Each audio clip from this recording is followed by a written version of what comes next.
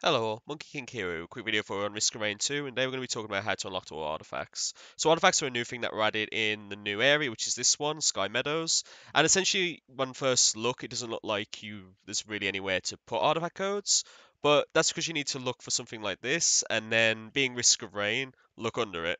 You'll then find this, which is a huge platform that was added in the Sky Meadows underneath all of the main area. And there'll be this little button cursor where you can essentially interrupt uh, different codes, different shapes and such. And you're looking for a lot of them. So here's one of them here, and these kind of are scattered all across the world. But me and the Gamepur team have actually gone and done all the legwork for you so that you can find more for yourself. So I'm just going to show you those now. So I'm going to pause the game and open up the Windows source. And I'm going to so slowly scroll through all this for you. So you have the Artifact of Honor, which is here.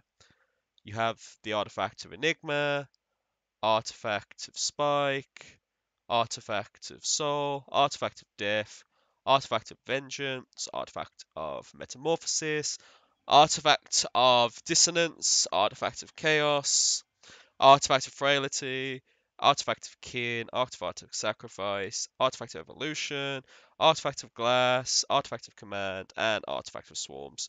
Uh, so we've already put them in order for you, so as you can see here, just match this. So for this one, for instance, if I just close this off, and say I want to do artifact of swarms like I just showed you, you need to do circle, circle, triangle, oops, gotta find the other ones, uh, triangle, diamond, triangle, so triangle, diamond, triangle, and triangle, circle, circle.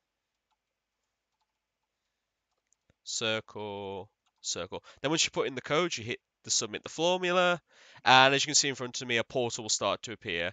Now it's worth mentioning that you can only get one artifact every time you come here, so you are going to have to repeat and come back to this area multiple times to unlock artifacts.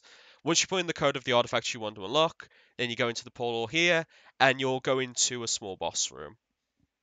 As I'm about to show you here. Uh, hello? Did I go in or not? There you go. Right, so once you're in this small boss room, you essentially need to start a wave. So there's your artifact that you need there in the center of that artifact. And what you're looking for is artifact keys. So once you found, so I'll show you how to start it and I'll go through it as I'm talking. So you can see here there's an artifact key here. Now what happens is once you have this artifact key, you're going to have to go and put it in the artifact itself. Once you do that, a boss rush will spawn. So like tons of enemies and mini bosses and everything will spawn. So make sure that you set up beforehand. Uh, so for instance, I'll place down on my turrets here.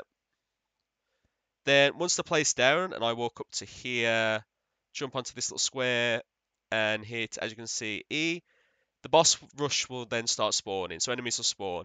The enemies will then uh, drop artifact keys just like I did, and once you've got six artifact keys and taken them to there, the artifact mini boss rush will end, and you'll be able to unlock the artifact that's in. It's then a case of getting back to Sky Meadows, going back to the area I just showed you, and putting in the next artifact code and rinse and repeating, and sooner or later you unlock all of them. So hopefully that helps you out, and I'll see you in the next video. Bye!